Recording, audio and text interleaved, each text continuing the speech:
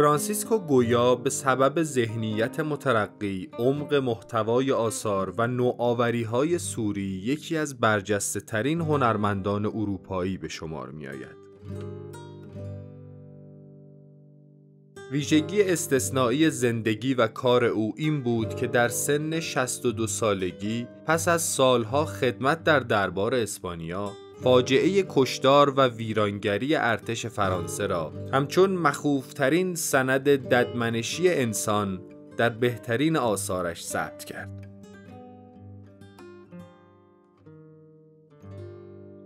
گویا که پسر یک طلاکار بود بیشتر جوانی خود را در زاراگوزا سپری کرد در آنجا در سن 14 سالگی به یادگیری نقاشی پرداخت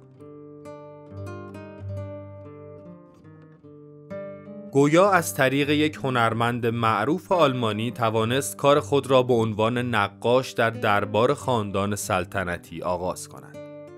در سال 1779 گویا موفق به دریافت عنوان نقاش دربار سلطنتی شد. او هر روز اعتبار خود را افزایش می‌داد و سال بعد در آکادمی سلطنتی سن فرناندو پذیرفته شد. گویا به عنوان یک نقاش پورتره شهرت زیادی کسب می کرد و از نجیب زادگان و اشراف سلطنتی سفارش های بسیاری می گرفت. از میان کارهای این دوره می توان به اثر دوک و دوشس اوسونا و فرزندانشان اشاره کنیم.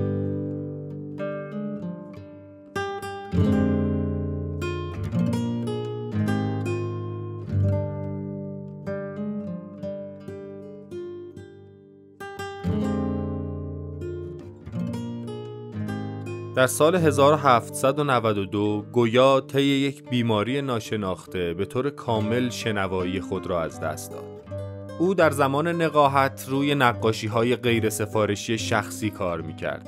در این دوران سبک کاری او هم تا حدی تغییر کرد.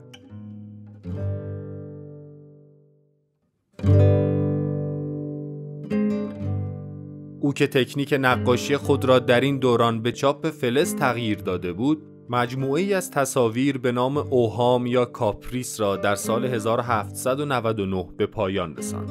این مجموعه شامل 80 اثر بود که فساد، طمع و سرکوب حاکم در جامعه را به تصویر می‌کشیدند. گویا حتی در کار رسمی خود هم نگاهی انتقادی به مدل‌هایش داشت. او تابلوی چارلز چهارم و خانواده را در حوالی 1800 کار کرد. برخی منتقدین اعتقاد داشتند که این پورتره بیشتر به کاریکاتور شبیه است تا یک پورتره واقعی و سفارش شده.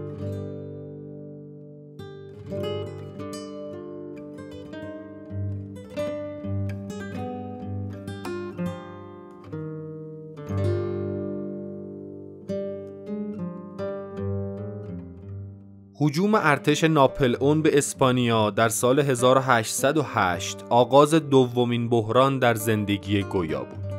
او گرچه مدتی با مهاجمان کنار آمد اما اوضاع مصیبتبار هموطنانش را در آثاری چون دوم ماهمه و اعدام شورشیان در سوم ماهمه و همچنین در چاپ دستی هایش موسوم به فجایع جنگ منعکس کرد.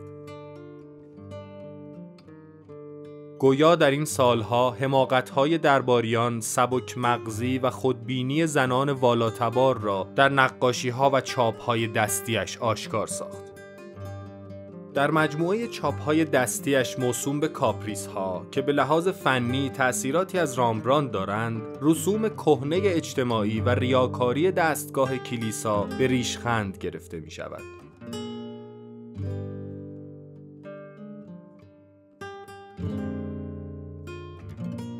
هرچه سن فرانسیسکو گویا بالاتر می‌رفت بیشتر به مضمونهای زندگی روزمره و صحنه‌های خیالی از عناصر مخوف و ظلمانی گرایش پیدا می‌کرد.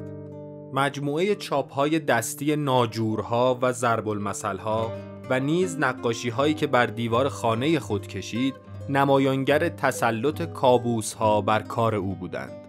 با این حال گویا همواره میکوشید دنیا را بدون توهم مجسم کند. وقتی که آدمها را شبیه حیولا می‌کشید و یا مشاهداتش را به طرزی اقراغامیز تصویر می‌کرد باز در اساس یک هنرمند واقع گرا بود. پرده اعدام شورشیان در سوم ماه مه که در سال 1808 به انجام رسید اوج رئالیسم نومایه اوست. این پرده که شش سال پس از واقعه نقاشی شده است لحظه عینی از اعدام شورشیان را نشان نمی دهد بلکه تصویری از یک فاجعه تکرار شونده را مجسم می کند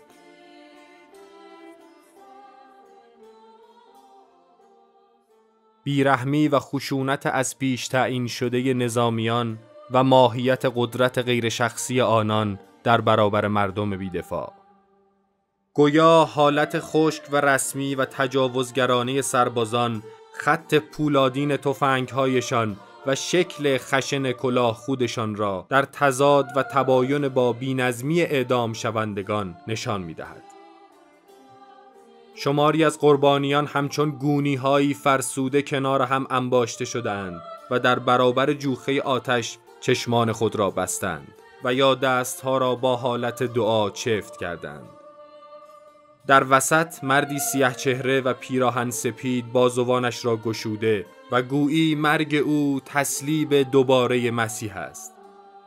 نورپردازی متمرکز از پایین احساس یک صحنه تئاتر را برمیانگیزد ولی هیچ چیزی حاکی از تصنع و یا تأکید بیمورد در این نقاشی مشهود نیست رنگبندی اثر حالتی سرد و غمگینانه را القا می کند که با موضوع کاملا ارتباط دارد گویا مورد ستایش نویسندگانی چون بودلر بود و بسیاری هنرمندان بعدی از کارهای او الهام گرفتند. از دلاکوروا، دومیه و مانه گرفته تا کت کلویتس و پیکاسو.